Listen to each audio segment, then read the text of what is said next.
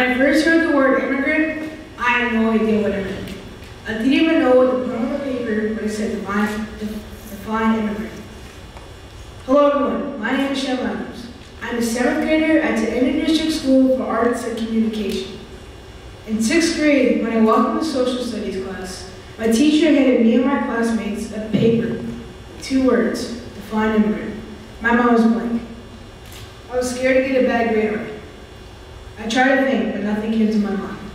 Little did I know, these two words were going to turn into something huge. After we were done, our teacher explained to us that we were going to interview 16 immigrants throughout southeastern Connecticut to learn the backstories on how they got here.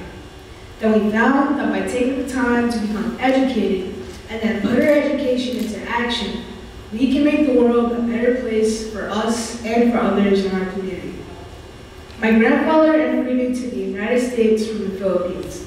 He had a tough life when he got to America. If he wasn't courageous enough to make his heroic journey, I would not be standing here in front of you today. Immigration is a part of who I am. One of my classmates pointed out that immigrants aren't just the people you see on the news. Immigrants are us. All of us here today, we are a nation of immigrants.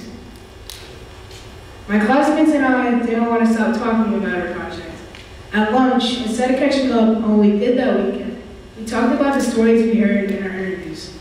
Our friend Delaney said that she started reading a book about immigration before bed every night and was starting to dream about it. We didn't just hear their stories, we got to know them as people. Their love, their fears, their hopes, and their dreams. We realized that the more we listen, the more similarities we have each person we interviewed and photographed. Our work and sell our books at these events.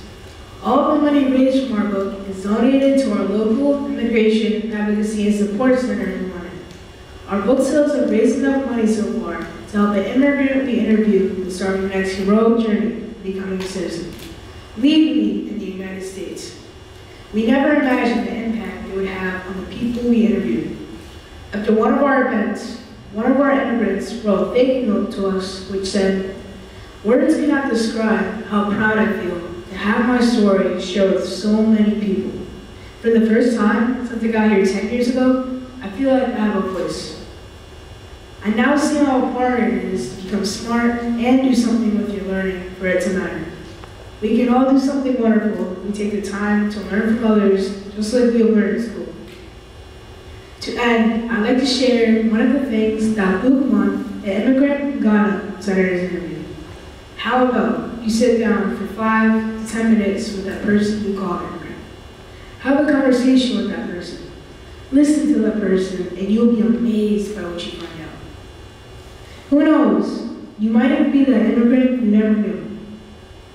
I now know what the word immigrant means in so many ways. The quote from Luke 1 really hit me.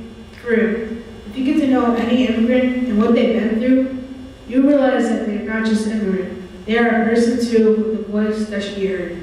Thank you.